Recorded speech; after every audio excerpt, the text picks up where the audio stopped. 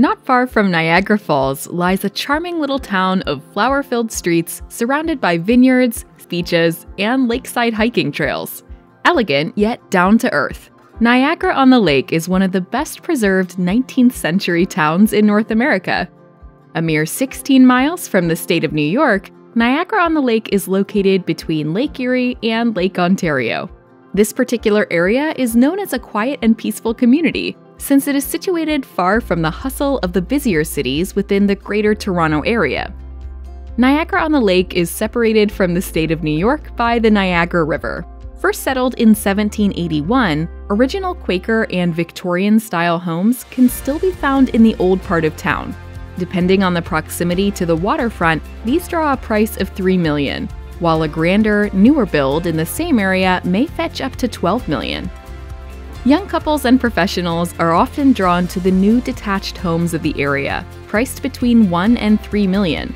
Families with young children may prefer to settle in Virgil, a newly developed community of Niagara on the Lake, with modern designs of townhomes, semi detached, and single family dwellings. Minutes away from the schools, with some backing onto vineyards, these homes start as low as 700,000 and reach 2 million. The Old Town is dotted with many little stores and boutiques. Each has a charm of its own, from Canadiana and Americana gift shops to local boutiques and small, fresh produce markets. Or you may prefer to sit down with a glass of wine. This is the perfect place, as there are many vineyards where you can enjoy a variety of samples. In fact, you could make an afternoon of it. Since this section of Ontario enjoys more temperate weather, it is perfect for the process of growing grapes and providing the area with over 100 wineries, with a proud specialty of sweet and delicious ice wine. The incredible countryside views are only half the glory of this city, sometimes through a bicycle tour group passing through vineyards in all their ripened beauty. This city is full of various activities and adventure. If it's golf you're after, the Niagara on the Lake Golf Club has stunning views of the lake to rival the beauty of the course itself. Historians will enjoy a visit to the museum, where local artifacts and historical records go as far back as the late 1700s.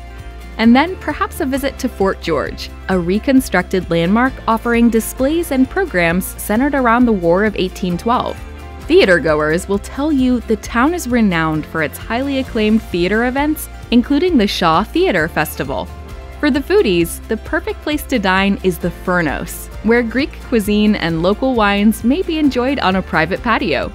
And finally, with Niagara Falls so close, you may want to experience one of the world's great wonders in all its thunderous glory.